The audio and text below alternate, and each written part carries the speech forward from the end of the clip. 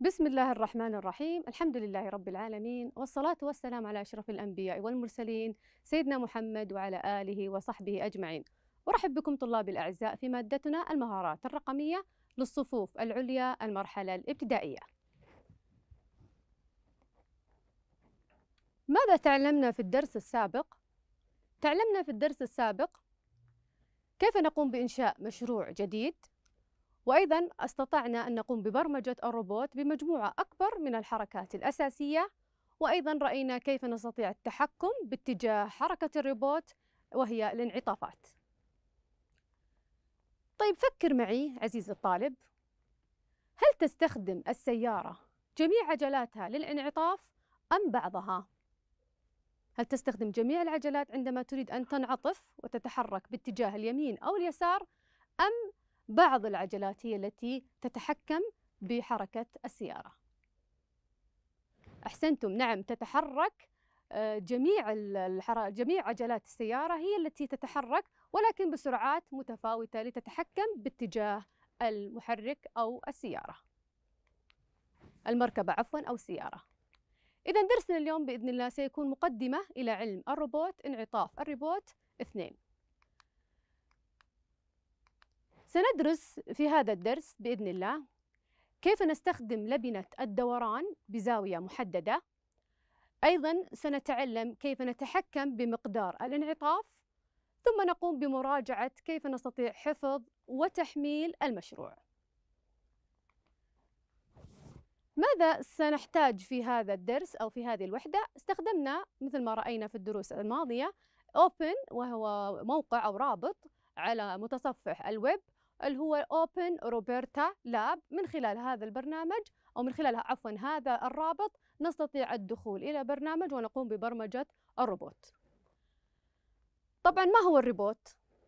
رأينا أن الروبوت هو عبارة عن آلة صنعها الإنسان لتؤدي العديد من المهام بشكل مستقل وذلك من خلال تنفيذ الأوامر التي تم برمجتها به بها طبعا تختلف أشكال الروبوتات تبدو عادة كالمركبات أو الآلات أو حتى على شكل البشر. طبعا يمتلك هذا الريبوت عجلات ومحركات تمكنه من التحرك كالمركبة ويحتوي بشكل أساسي على مكونين رئيسيين وهما الوحدة الرئيسية والتي تسمى وحدة التحكم وهي ال EV3 robot brick وأيضا تحتوي على بيئة برمجة الروبوت والتي يتم تثبيتها على جهاز الحاسب. كيف يتم برمجة الريبوت؟ رأينا أن ال Open Roberta Lab تسمح ببرمجة ومحاكاة الريبوت بطريقة مرئية من خلال متصفح الويب مما يعني أنه لا نحتاج أن نقوم بتثبيت البرنامج على جهاز الحاسب أو حتى امتلاك ريبوت حقيقي فنكتفي بوجود المتصفح ونقوم برؤية أو برمجة الريبوت ونرى ونرى المحاكاة كيف ستقوم بتحريك أو ببرمجة أو تنفيذ الأوامر على الريبوت. كيف يمكننا التحكم باتجاه الريبوت؟ رأينا أن لدينا نستخدم عادة لبنة القيادة وهي ال drive distance centimeter ثم نستخدم لبنة steer وهي لبنة مسافة التوجيه بسنتيمتر اللي هي لبنة steer distance centimeter رأينا الفرق بينهما. في الأولى في لبنة ال drive يتحرك الريبوت للأمام أو الخلف بشكل مستقيم. بينما في لبنة ال steer drive أو steer عفوا distance centimeter تجعل الريبوت ينعطف لليمين أو اليسار. في لبنة القيادة أو في لبنة ال drive distance تتحكم في محركي الريبوت الرئيسيين مع بعضهما في حركة واحدة. بينما في لبنة ال steer تتحكم في محركي الريبوت الرئيسيين بشكل مستقل مستقل عفوا. فرأينا أنه إذا أردنا أن ننعطف بالريبوت إلى جهة اليمين فإننا نقوم بزيادة سرعة المحرك الأيسر. وبالعكس إذا أردنا الانعطاف لليسار فإننا سنزيد من سرعة المحرك الأيمن. نصيحة ذكية. نظرا لعمل المحرك الأيمن والمحرك الأيسر بشكل مستقل يمكنك برمجتهما للتحرك بسرعات مختلفة حتى ينعطف الريبوت حسب الاتجاه الذي تريده. طيب سؤال هل كيف نستطيع أن نرسم هذا الشكل بالريبوت؟ طيب سؤال آخر كم مقدار هذه الزاوية؟ أحسنتم الزاوية 45 درجة. فإذا بناء على ما درسناه سنقوم ببرمجة الريبوت حتى يرسم لنا هذا الشكل. طبعا لبنة الخاصة اللبنة الخاصة بدوران الريبوت بزاوية محددة تكون موجودة من فئة الحدث الأكشن وهي لبنة ال turn لبنة ال turn نستطيع أن نحدد السرعة ونستطيع أن نحدد الزاوية التي نريد أن يتحرك من خلالها الريبوت. فنستطيع أن نقوم بتثبيت أو بتركيب اللبنات البرمجية بهذه الطريقة. سنستخدم لبنة القيادة حتى يتحرك الريبوت إلى الأمام بسرعة وبمسافة معينة. نفترض أنها بسرعة 50 بمسافة 30 ثم نقوم بدوران بزاوية محددة وهي زاوية 45 وبسرعة مثلا 50 ثم نقوم حتى نجعل الريبوت يلف للخلف.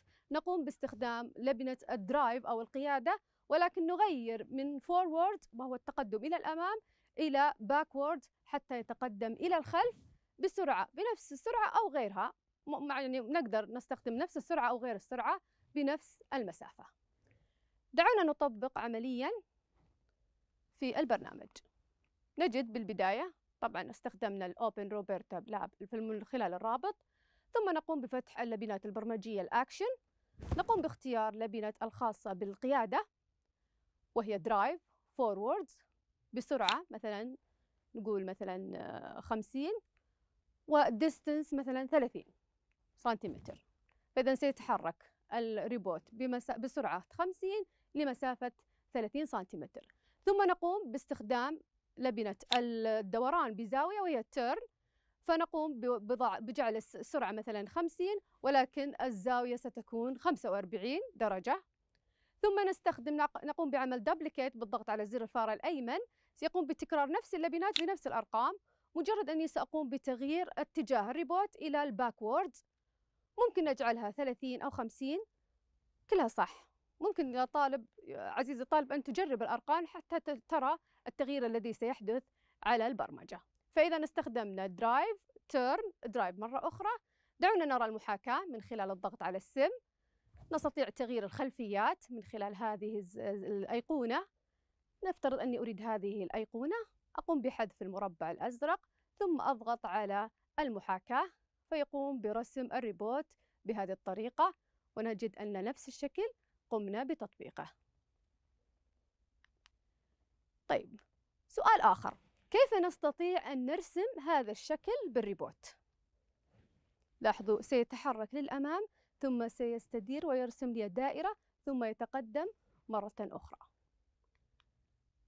سنستخدم كالتالي طبعا آه لبنة ال steer باعتبار أنها هي الخاصة بالدوران أو بعمل انعطاف لدائري للريبوت.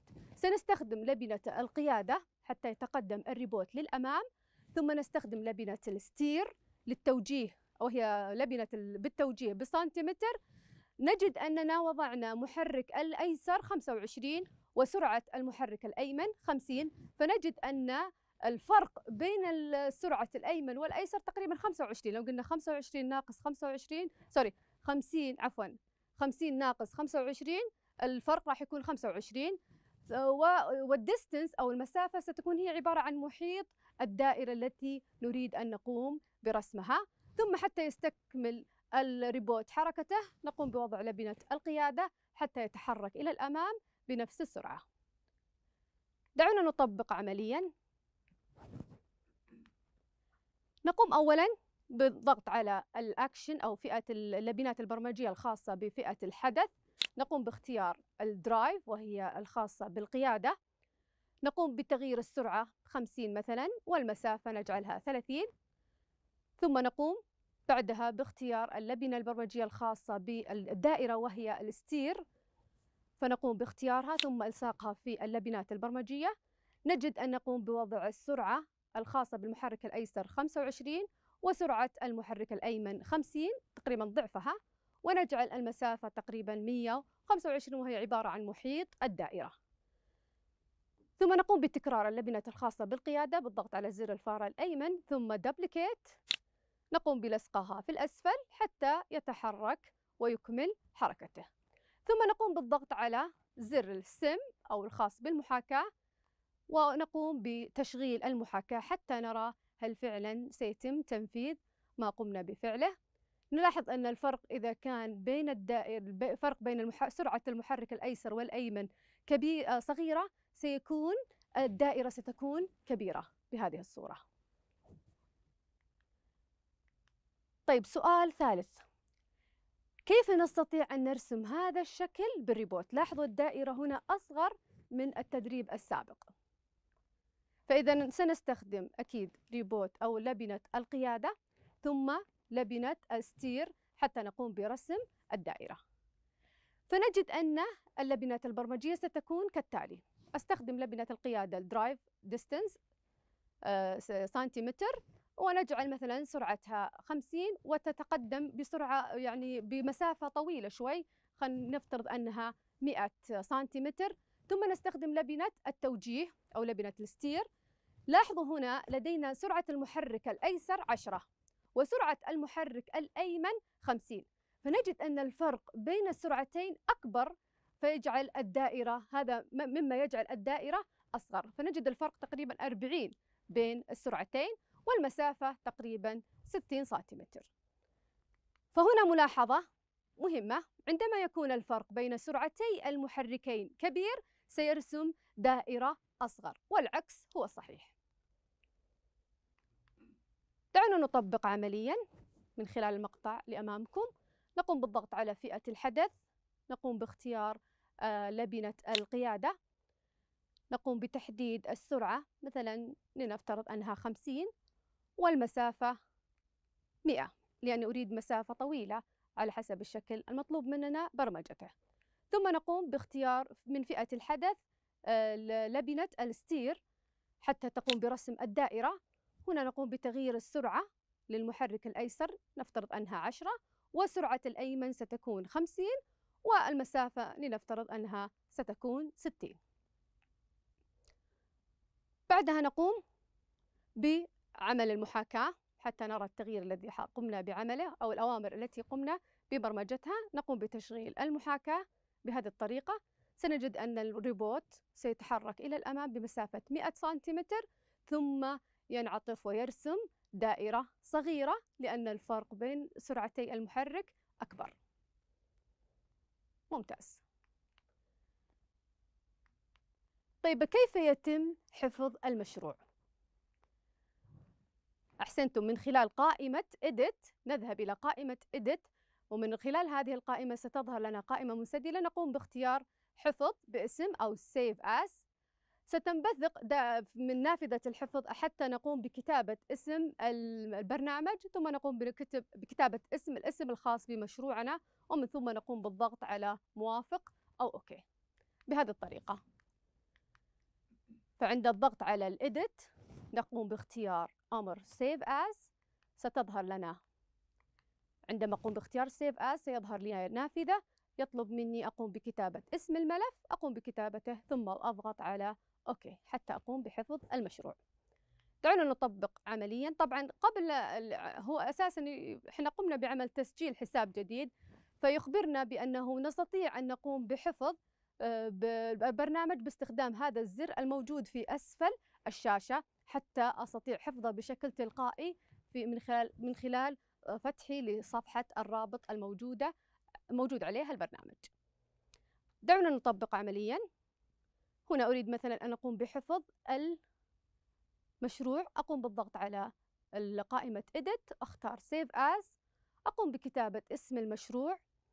نفترض أني أريد أن أقوم بكتابته باسم الفور ووردز طبعا إذا قمت بكتابة العربي نحوله إلى ال English words مثلا 1 وأقوم بالضغط على OK فنجد أن الملف يتم حفظه وموجود اسمه في أعلى الصفحة.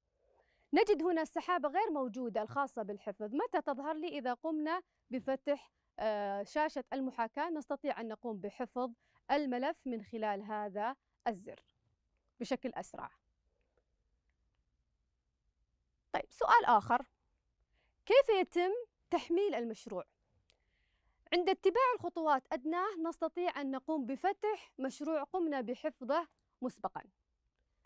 طبعا نذهب إلى قائمة Edit ثم نقوم باختيار My Programs أو برامجي. نقوم بالضغط على زر الفأرة الأيسر على المشروع المطلوب فتحه فيتم فتحه مباشرة. فهنا في الصور أمامنا نلاحظ أن من قائمة Edit أختار My Programs فأقوم بالضغط على البرامج البرنامج أو المشروع الذي قمت بحفظه بالضغط عليه بالزر الفأرة الأيسر ثم يتم فتح المشروع مباشرة. دعونا نطبق عمليا. فنذهب هنا مثل نفترض أني هذا المشروع الذي أريد أن أقوم بفتحه أو قمت بحفظه وأريد أن أقوم بفتحه. بهذه الطريقة.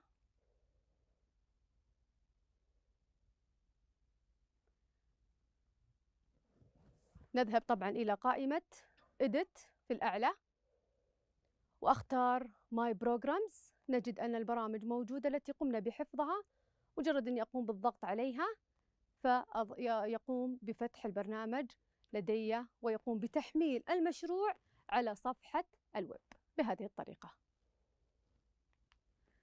طبعا استخدام الحاسب يحتاج إلى مهارة عملية مستمرة وممارسة حتى تحصل على الاحترافية والاختصاص في هذا المجال فهو ليس مجرد دراسة نظرية بل بالتدريب العملي نستطيع أن نحصل على المهارة في هذا العلم. ماذا طبعا تدريب دعونا نأخذ تدريبات بسيطة من خلال حل تدريب واحد الموجود في الكتاب اختر الإجابة الصحيحة بوضع علامة صح في المكان في المكان المحدد. واحد أوبن روبرتا لاب هي إحدى لغات البرمجة. هذه الإجابة صحيحة أم خاطئة؟ هل هو هل هو يعتبر إحدى لغات البرمجة؟ أحسنتم خطأ، هو لا يعتبر إحدى لغات البرمجة دعونا نرى السؤال الثاني ونرى نجد الإجابة موجودة فيه. سؤال اثنين تتيح بيئة Open Roberta Lab برمجة الريبورت ريبوت بطريقة مرئية باستخدام متصفح الويب. هذه الإجابة صحيحة أم خاطئة؟